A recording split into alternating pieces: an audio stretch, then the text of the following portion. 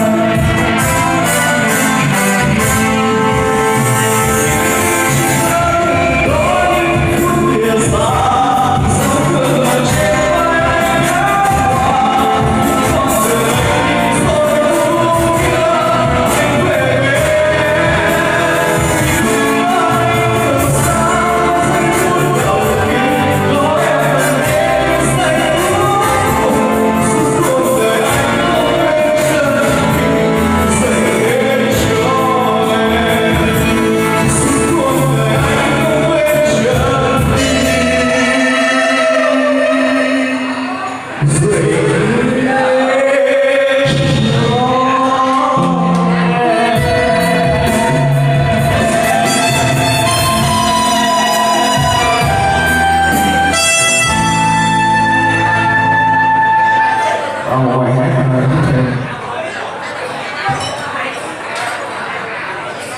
xin mừng các bạn rất nhiều